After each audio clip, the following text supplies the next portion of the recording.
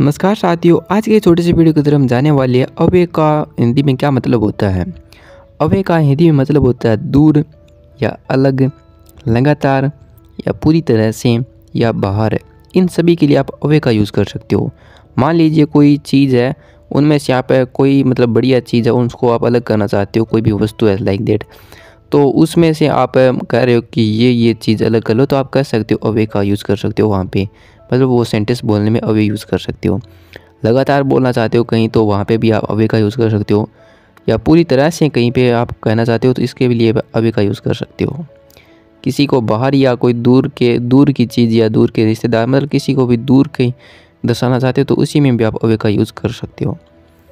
Video में दी गई जानकारी आपको पसंद लगी तो वीडियो को लाइक कर देना। मिलते हैं नए वीडियो में नई जानकारी के साथ। तक के लिए जय हिंद, जय भारत। Thank you